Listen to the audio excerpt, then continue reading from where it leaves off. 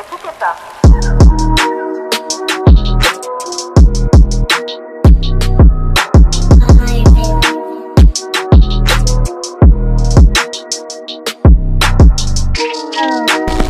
Hi guys, this is Justin North from Off The Line Performance. Today I'm going to go over the technical details of our Street Series ignition coils that we manufacture here. Um, we've got a few key points I want to go over and kind of inform you guys about what we make here. Um, so the first thing is the power output. Most common question we get asked is how do these compare to stock? How do they compare to other aftermarket ignition coils? Right here I have the three generations of the ignition coils. We have first the older generation, which you're going to see in like the Bug Eyes 0203 WRXs. Um, and then you also have a gray top coil. They're going to come in the later model cars, like in the two liter STIs and such.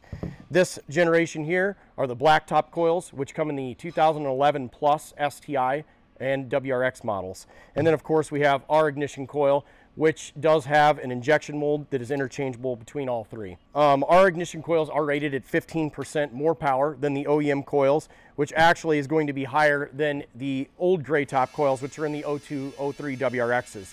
These coils are rated lower than even the gray top coils in the newer models. Additional power is going to allow you to increase the gap and give you better drivability with a higher power application.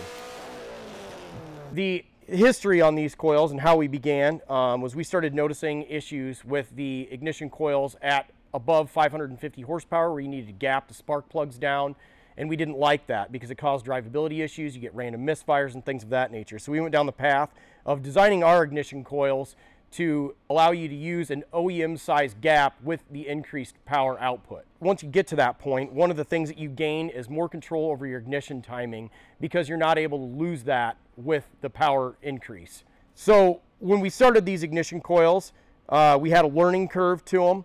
Um, we dealt with some failure rates in the beginning. We've overcome that, and now we are at less than a half percent failure rate. So we're doing really well with them. Um, we honor our 18 month warranty without any question. Uh, if any issues do come up, but I do warranty very few of them at this point. So let's get back to the spark plug gap specs. These are going to depend on the spark plugs you're using, but let's speak on stock spark plugs. You're going to be able to maintain a stock gap all the way up to about 700 horsepower. After 700 horsepower, we recommend you gap these things down to about 022 or 025, and that's going to allow you to run all the way up to 1,000 horsepower using our ignition coils. Thanks, guys. If you have any questions about this, please get a hold of us, and we'll be happy to answer any additional questions. What's up guys, I'm Cole Peterson here with Off The Line Performance and I just wanted to give you a little bit more additional info involved with our coil packs. Now, uh, as far as like installation uh, with these, basically what you need to know is just when it comes to your cylinder 4, any of the back cylinders, you might need to twist the coils around. Now, just a full 180. Now, a lot of people when they do spark plugs and coil packs, they just decide not to do that. But you don't need to lift the engine out or anything like that or lift it up. Just turn the coil pack 180 degrees and it'll slip up.